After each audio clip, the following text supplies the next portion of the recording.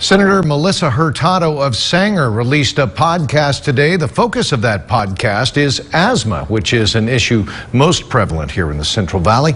The senator partnered up with Women in Government. That's a national nonprofit and nonpartisan organization for this event. The podcast shows how atopic, allergic, and inflammatory diseases like asthma affect our families and our communities.